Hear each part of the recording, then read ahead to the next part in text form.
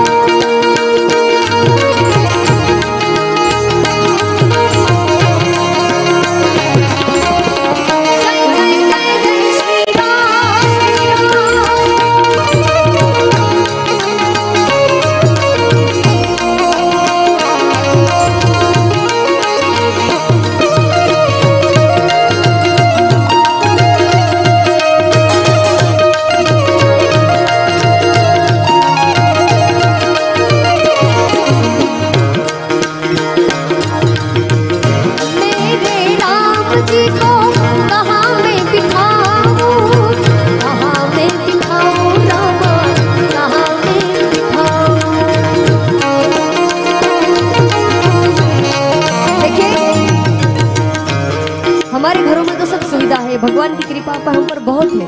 हम सबके पास गाड़ियाँ हैं बड़े बड़े घर हैं। जिनके पास बड़े घर नहीं, उनके पास सुविधा तो है कि वो भगवान आएँगे तो वो दिल से उनका स्वागत करेंगे आत्मा स्वागत करेंगे। पर सबरी जी के पास उनकी टूटी हुई झोपड़ी थी। सुखी रोटी खा रही थी, क्योंकि उनको राम जी से उनके पास कुछ नहीं था। तो क्या कहते सबरी जी?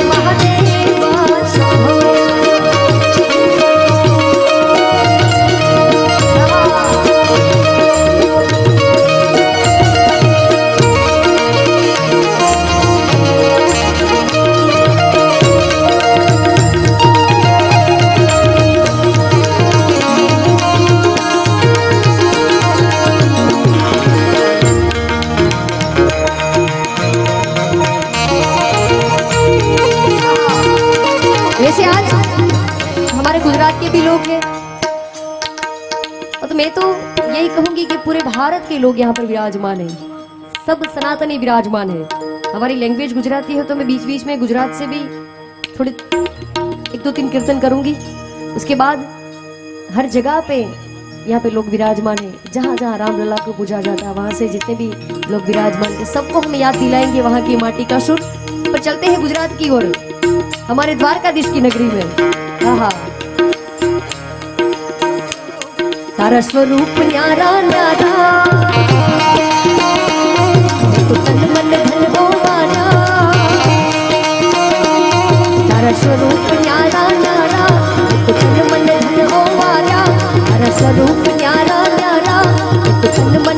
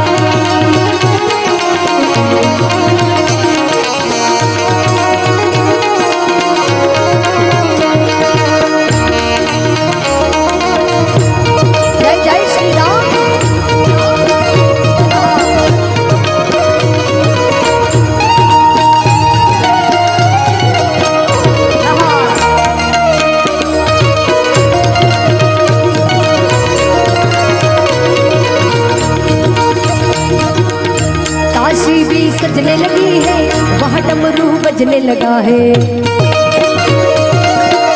काशी सुना। काशी भी सजने लगी है, वहाँ डमरू बजने लगा है।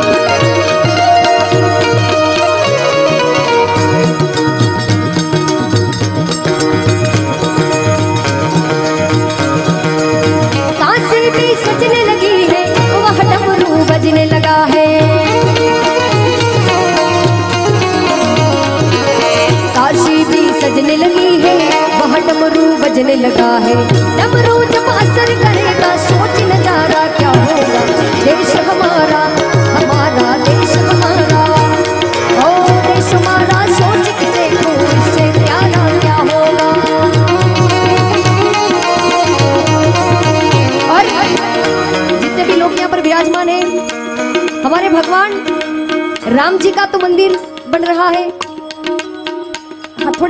जाइए ताकि हमें लोग दिखे। और पैसे बाद में जब राउंड खत्म हो, तब उठा लेना। कौन कौन चाहता है कि भगवान श्री कृष्ण की जन्मभूमि मथुरा में भी भगवान का भव्य मंदिर हो? अपना हाथ खड़ा करे थोड़ा। कौन चाहता है कि भगवान श्री कृष्ण की जन्मभूमि मथुरा में भी भगवान का सबसे बड़ा मंदिर हो, जैसे हमारे रामलला का मंदिर बना है? कौन कौन चाहते हैं? थोड़ा हाथ खड़ा करके। वाह वाह वाह वाह। मथुरा भी सजने लगी है, वह बंसी बजने लगी है। मथुरा भी सजने लगी है, वह बंसी बजने लगी